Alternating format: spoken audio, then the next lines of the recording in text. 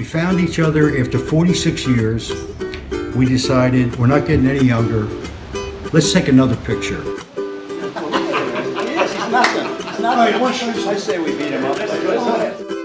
Unless you fought in the war and you, your life depended on these other guys, there's a bond there that I, it, it- it's, it's real, it's physical. You can't explain it. It's, it's hard to explain.